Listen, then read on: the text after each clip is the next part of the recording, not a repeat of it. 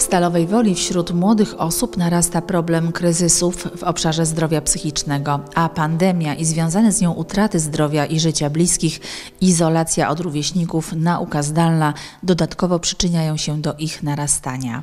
Ludzie młodzi i dzieci nie mają teraz możliwości wyrażenia tego wszystkiego, co się w nich kłębi e, wśród rówieśników, wśród e, kolegów, koleżanek w szkole.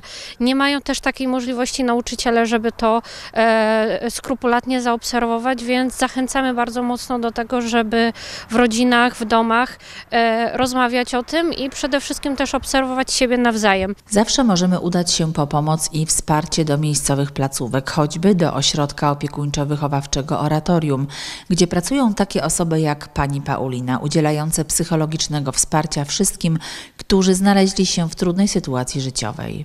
Młodzież może tutaj przyjść, e, mogą się skonsultować z psychologiem, mogą porozmawiać z wychowawcą e, i nawet jeżeli tutaj w ośrodku e, nie będziemy mogli pomóc, to nigdy młodzieży nie zostawimy samej, zawsze wskazujemy jakieś drogi i inne możliwości wyjścia z tej sytuacji, choćby przekierowanie do innej placówki, do innego specjalisty.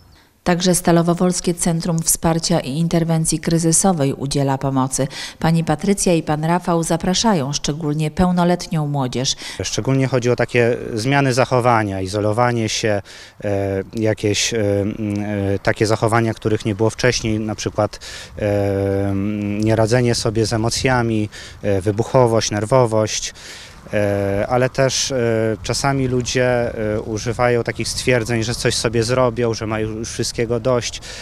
Często tak mówimy mm, w żartach, natomiast ja bym apelował o to, żeby nie ignorować takich słów, jeżeli widzimy, że zachowanie osoby się zmienia, że rzeczywiście ona jest w kryzysie, bo te słowa mogą być sygnałem o pomoc, Przy pogarszającym się stanie psychicznym warto skorzystać także z pomocy Niżańskiego Ośrodka Środowiskowej Opieki Psychologicznej i Psychoterapeutycznej Pozytywka, mieszczącego się przy ulicy Wolności 54, gdzie świadczenia zdrowotne można uzyskać bez skierowania lekarskiego.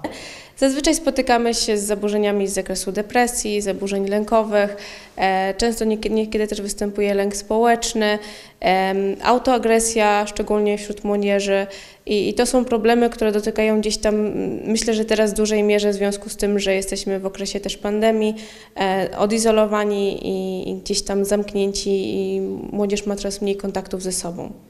Nic nie wskazuje na to, że życie w izolacji młodych ludzi szybko wróci do normy. Dlatego częste rozmowy, zrozumienie, poczucie bliskości, wrażliwość, czujność i wsparcie dorosłych ma szczególnie teraz kluczowe znaczenie.